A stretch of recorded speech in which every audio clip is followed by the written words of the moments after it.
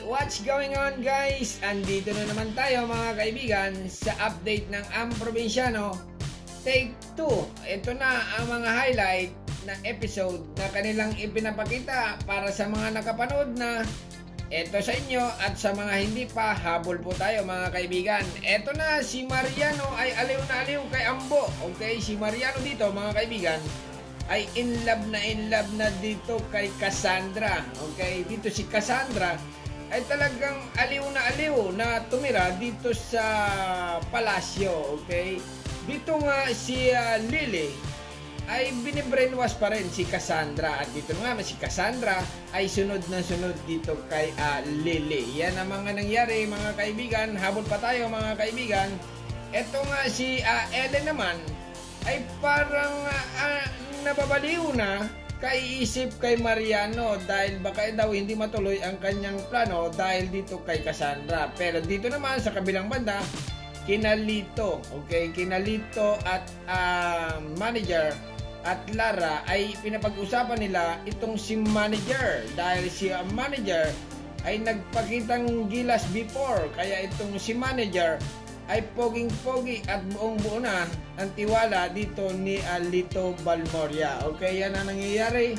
At nangyayari pa lang dito sa ang probinsyano. Pero dito si uh, Alito ay nagagalit nga kina Bito at uh, Salvador dahil nga sina Salvador at Bito ay naiinggit dito kay manager. Alright? Ay siyempre may inggit itong si uh, Bito kasi nga si manager na lang lagi ang laging bukang bibig ni Alito. Kaya itong si Abito and Salvador ay tinutukan. Okay? Hinarap nila si manager para sabihin na uh, bakit ganyan ka manager. Alright? Kung yung mga nakakapanood na, alam na nila ito, mga istorya na nangyayari. At dito nga, nung tinutukan or nagharap si Bito, manager at Salvador, ay si Lito ay biglang dumating. Okay? Dumating dito para pigilan itong sina Salvador at uh, Bito at dito nga ayan na ang mga nangyayari. Okay dito about naman dito tayo kina Cardo Dalisay. Si Cardo Dalisay at si Lea Mante naman ay si Lea Mante ay nagtatampurot mula nung uh, binigyan ng pagkain ni Cardo Dalisay. Ayaw kumain pero si uh, Lea ay gustong tumakas dito mga kaibigan ha? Gustong tumakas kay Cardo Dalisay at ito nga si Cardo Dalisay ay kunwari kumakain pero nakikiramdam siya sa ginagawa ni Aleyamante. Kaya makikita nyo dito mga kaibi, kaibigan si Leamante ay abalang-abala or nagagawa ng paraan para makatakas okay? Pero umaray siya dahil uh, nakaramdam siya ng kirot sa kanyang uh, sugat kaliwa uh, minsan ay sa kanan.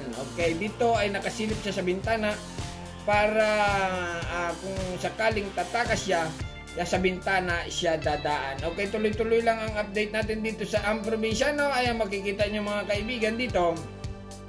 Ito na, si Lea Mante, abalang-abala.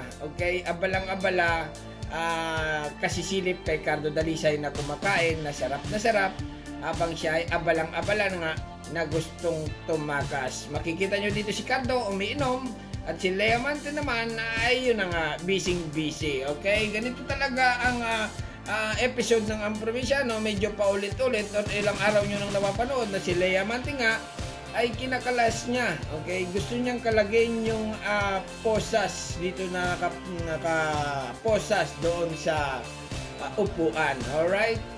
Pero siya hindi inaasahan ni Leamante habang abalang-abala siya, hindi niya inaasahan na paglingon nga niya sa kaliwat kanan dito ay biglang nagsumulpot. Okay, biglang sumulpot si Cardo Dalikisay. Siyempre naman, dahil yan ang ating bida, ha? Ma- malakas, okay? Malakas ang pang-amoy ni Cardo Dalisay na si Lea Mante nga ay tatakas. Kaya makikita nyo dito, pag lingunik ka ni uh, Lea Mante, si Cardo nakita niya. Ayan. Okay?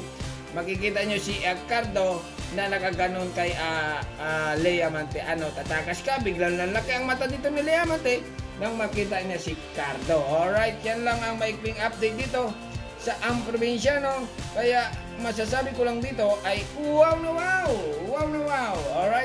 Habol pa, habol pa sa mga gustong makapanood or hindi pa nakakapanood, eto na, at tama, kakaibigan.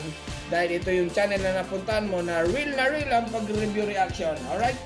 Hanggang dito na lang at thank you very much. Subscribe my channel. Don't forget. Okay, bye-bye.